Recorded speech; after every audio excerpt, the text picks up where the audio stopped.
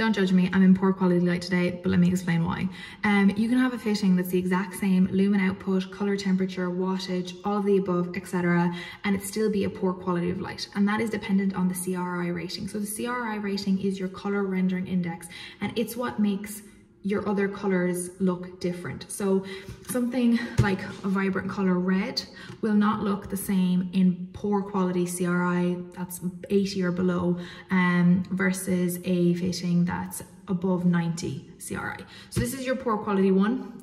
Red does not look vibrant or red.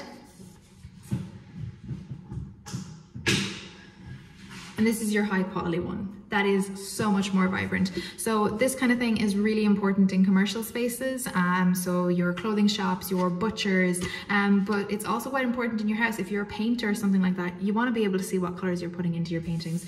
Um, so yeah, that's the CRI rating and that could be the difference.